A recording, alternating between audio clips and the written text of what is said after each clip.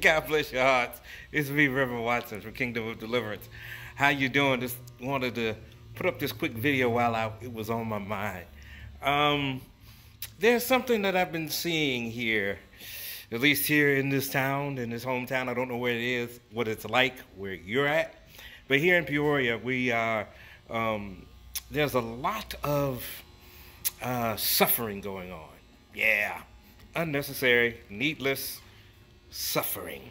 Yeah, it's a whole bunch of that going on right here in this town. And it's something that I knew uh, that was going on because uh, coming to the church during the week, um, find out there's a lot of people gathering on our porch. Yeah, gathering on our porch.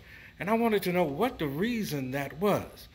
Um, but after a while, dealing with a lot of people uh, or talking to a lot of people, um, there's a serious problem with a lot of people suffering with addiction, suffering with being uh, without a roof over their head, and hungry. Y'all kind of saw that uh, a previous video about uh, titled uh, "What We Do." Um, yeah, where you saw that uh, I had to take, uh, we were taking food to those that were in need. Uh, that's one of the things we do here at uh, Kingdom of Deliverance. We deal with uh, homeless, uh, not homelessness, but dealing with the need of hunger um, because it's going on. It's, it's no joke. People are suffering. And what gets me is that folks look at people's condition, whether it be homelessness, whether it be drug addiction, whether it be uh, lack of food, lack of clothes, and want to put it on them and say that there's a problem um, and harden their hearts to what's going on. Ooh, mm, gotta trim the gotta trim the mustache, um, and want to deal with uh, what that it's their fault. Oh, I just walked into some darkness. Um, the problem is, it's not, things happen to everybody. And things happen uh, that are on with a series of, as the show would say, a series of unfortunate events. Uh, sometimes it might be something that they have done. Sometimes it might be something uh, out of their control and has put them in that situation. Uh, the thing is, is that we are not to look at them and blame them for their situation. But if we're Christians, if we believe in Christ, we're supposed to help them up. Not what I mean, help them up. Yeah, give them some fish, but teach them how to fish. Um, and right now, uh, got a couple of scriptures just running through my head. One of those scriptures is when we look at folks and think it's their problem, reminds me of uh, the time that Jesus and the disciples found a man blind from birth. And the disciples asked the question, whose fault is it that he's blind? Is it the fault that the parents sinned or did he sin? And Jesus simply looked at him and asked, asked the question, none, that the glory of God might be what? Revealed. Uh, and then he proceeded to heal the man. Mm. So the reason why I went that went that direction is because of why folks are standing or gathering around our front porch here at Kingdom of Deliverance Folks will say because we have an outlet, uh, a power outlet outside and folks are charging their batteries. Not necessarily the case. They're out there, yeah, if they got, you know, trying to keep up communication, hey, that's that's one of the things.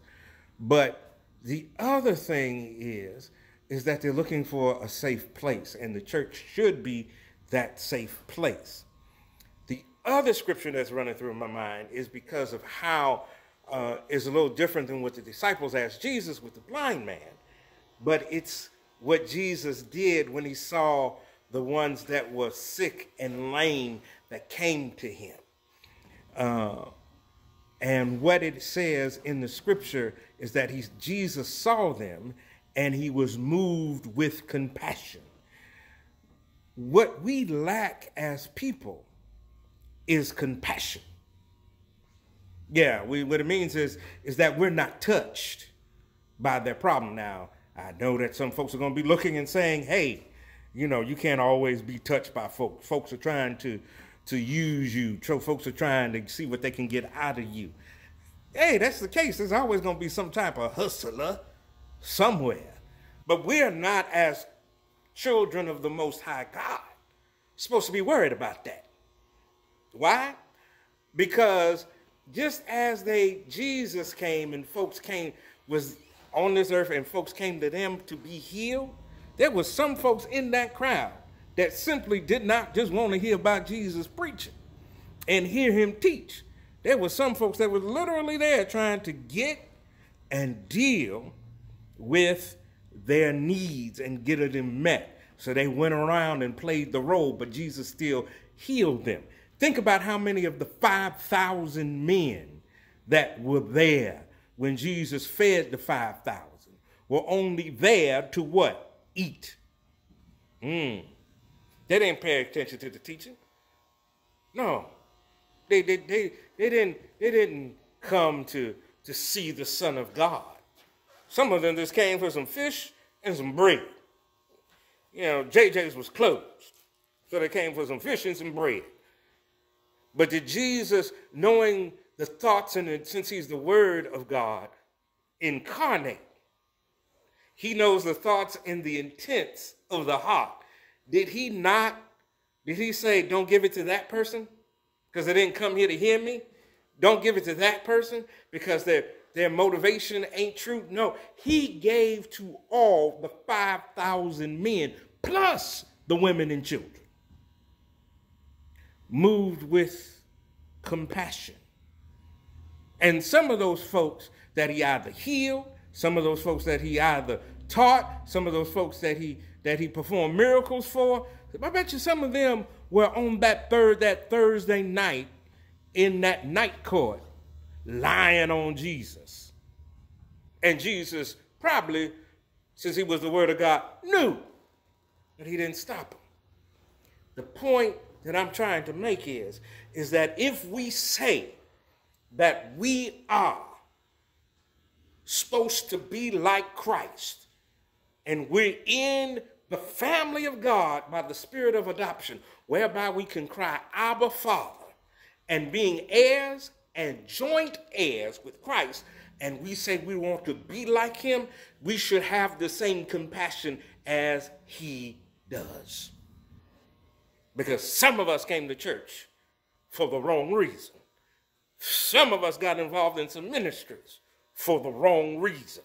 But God did not ostracize us and did move with compassion when we were in need, when we were hurt. He moved. And the reason why he does that is first of all because he's God. Second, because he loves us. Third, he is full of grace and mercy. And fourth, he's planting the seed because you never know what it's going to take to make that person move toward Christ. So when you deal with folks that you see that are down on their luck, outdoors, in the street, hungry, be moved with compassion because you never know. You are planting the seed. Don't worry about what if you give them if you give them change. Don't worry what they're gonna do with that change. They're gonna go get some night train and some Cisco and go down to see the weed man. Don't worry about that. That's not your point. I believe that these folks that come to this door, God is trying to show KODBC something. And for us at KODBC to show everybody else something. Because in my experience, when God keeps bringing things or the same thing to you, even though you try to get rid of it and he keeps bringing it back, God is trying to show you and tell you, you got to do something about that. And that is to move with compassion, help folks, because you never know.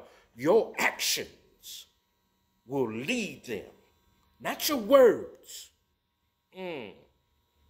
Not just your words, not your preaching, not your testifying, not your witnessing, but your actions in the in the power of the Holy Ghost through the love of Christ will bring them to the cross where they can come and get what they need from the sustainer and the provider for the entire world.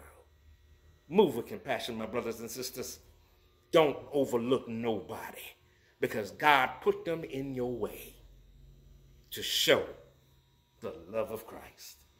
Hey, that's it, my brothers and sisters. Now, I, I, since I said that little shameless plug, we still are doing our food here at uh, uh, KODBC, Emergency Food Pantry. If you want to help us out, do that. Um, you can do that by giving a donation. You can do that by helping. You can do that by even giving some canned goods. Hey, because last month we did uh, six folk, six families that needed emergency food, and that's going to get even tighter as the summer uh, turns into fall and fall turns into winter. So we definitely going to do that. I need to stay in frame. I'm sorry. Um, also, if you want to come uh, visit us here at KODBC, you can do so. We have service every Sunday uh, at 11:30. Uh, uh, 11, uh, 11 o'clock uh, and 11.30. Come through. Uh, we are located at 105 East Arcadia here in Peoria, Illinois, in the East Bluff. You know, if you're going to McDonald's, we're right across the street from, basically right across the street from the McDonald's on Arcadia and Knoxville. So come and come and check us out. Uh, also, if you like what's going on, hopefully you're liking the Bible study that we're doing on how to study the Bible. There will be another video up soon. Uh, and, uh, you know, you can check it out and you can get notified. If you subscribe to this channel, like the video. And liking the video does not necessarily uh, help me personally. It actually helps the church and the message of this church go forward and spread out to more people. So like and subscribe to the channel if you uh, and click the notification button so that you will be notified anytime uh, we post another video. Until next time, my brothers and sisters, hey, y'all be blessed and may God bless your heart.